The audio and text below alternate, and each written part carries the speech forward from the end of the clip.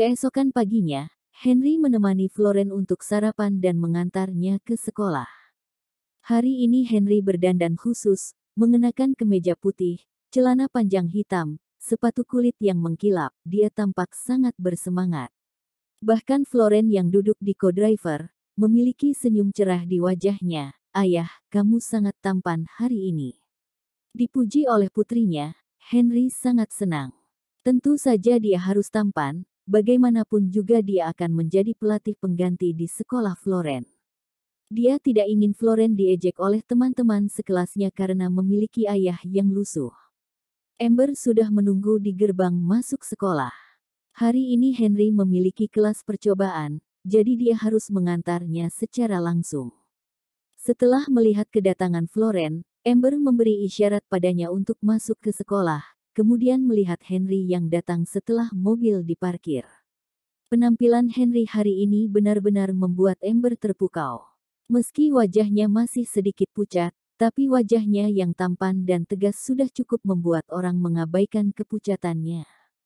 Kemeja putih sederhana dan celana panjang hitam di tubuhnya juga meningkatkan penampilannya secara keseluruhan. Amber sangat menghargai perasaan cerah dan positif yang diberikan Henry. Demikian pula Amber, dia juga terlihat cantik di mata Henry.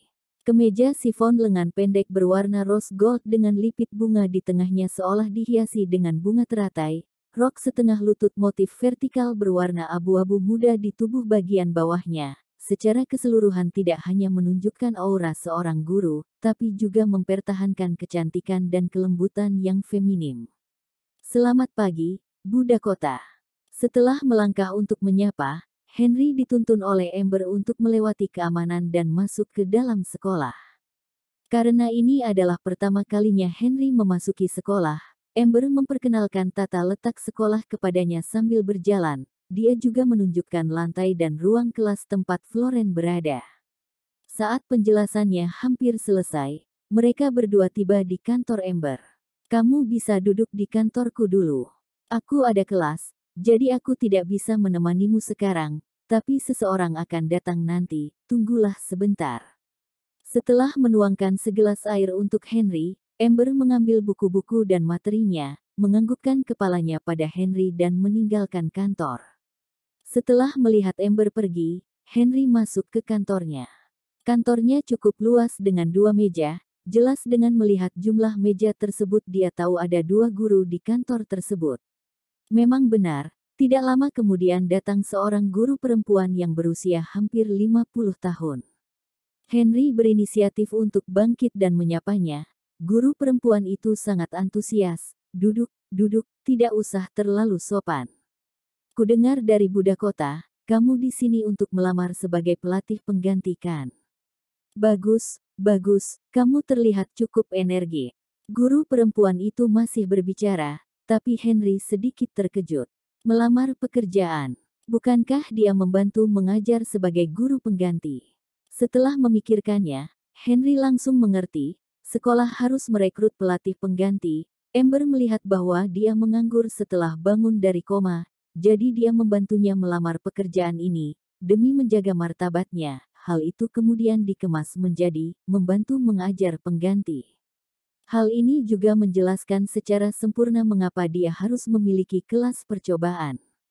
Benar saja, dalam percakapan selanjutnya dengan guru perempuan tersebut, Kata-kata guru perempuan itu juga mengungkapkan bahwa sekolah sedang merekrut. Melihat foto-foto di meja Ember, Henry merasa hangat saat melihat senyum damai di wajah Ember. Meskipun dia tidak membutuhkan pekerjaan ini, dia masih menerima kebaikan Ember, terutama karena dia begitu lembut. Setelah beberapa saat, guru perempuan itu juga pergi meninggalkan Henry sendirian di kantor. Bosan menunggu di kantor, Henry ingin keluar dan menghirup udara segar dan melihat-lihat kelas Floren di lantai yang sama. Tepat setelah meninggalkan kantor, seorang pria berusia awal 30-an datang. Dia mengenakan kacamata berbingkai emas dan memiliki gaya rambut rapi, memberinya penampilan yang bersih dan segar, tapi dengan aura kebanggaan. Dari lencana kerja yang tergantung di dadanya, Namanya adalah Markus Framis, jabatannya adalah dekan sekolah. Di usianya yang masih belia, dia sudah menjadi dekan sekolah, jadi dia memang memiliki sedikit kebanggaan dalam dirinya. Henry mengangguk untuk memberi salam sebelum melewatinya. Tapi sebelum dia melewatinya, Markus mengangkat kacamatanya dengan satu jari dan tiba-tiba berkata, apakah kamu pelatih pengganti yang datang untuk melamar? Henry sedikit tercengang, tidak menyangka jika kepala sekolah cukup peduli dengan posisi ini, bahkan mengirim dekan untuk menyambutnya. Ya, Direktur Framis, namaku Henry Chenlong, aku di sini melamar sebagai pelatih pengganti.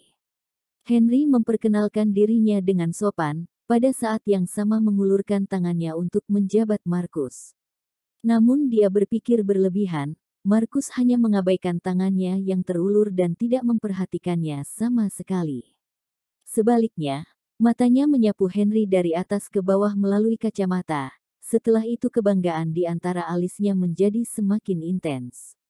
Namaku Markus Framis, aku dekan sekolah, lulusan Universitas Columbia dengan gelar double degree S2 di bidang pendidikan dan manajemen. Aku mengikuti gulat Amerika di perguruan tinggi, mendapat kehormatan menjadi presiden Combat Club, memimpin kekejuaraan tim Liga Pertarungan Universitas dan memenangkan juara kedua. Jadi dalam hal pertarungan, aku masih memiliki beberapa prestasi. Setelah perkenalan diri yang mempesona, Markus tersenyum menghina dan berkata pada Henry, Adapun kamu, aku sudah membaca resumemu, kamu hanya seorang petarung advance kecil, yang pada dasarnya berada di tingkat bawah dunia pertarungan nasional. Ada enam peringkat di arena pertempuran bawah tanah, tapi tidak diakui secara resmi, para pejabat memiliki standar peringkat mereka sendiri, yaitu amateur fighter, train fighter, advance fighter, ultimate fighter, crazy fighter. Peringkat pertempuran bawah tanah mirip dengan peringkat resmi, satu-satunya perbedaan adalah resmi dan ilegal, juga lebih ganas arena bawah tanah. Oleh karena itu, di bawah peringkat yang sama, amatir tidak setinggi petarung newbie, hal yang sama berlaku untuk peringkat lainnya. Tapi ketika Henry datang ke sekolah untuk melamar pekerjaan, dia pasti tidak bisa menggunakan peringkat arena pertempuran bawah tanah, jadi dia mengeluarkan sertifikat train fighter yang pernah dia dapatkan.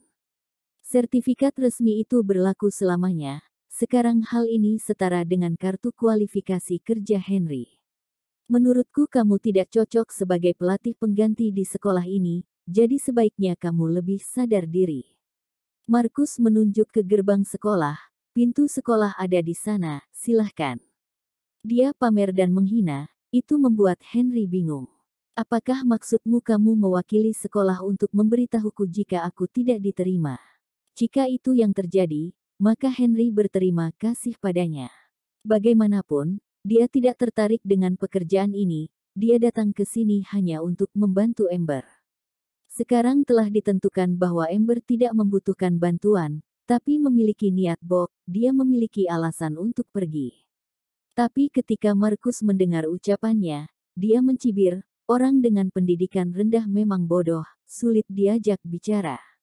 Biar kukatakan langsung, aku akan menjadi pelatih pengganti, sedangkan kamu, kembalilah ke asalmu dan jauhi ember di masa depan, emas jangan didekatkan ke lumpur.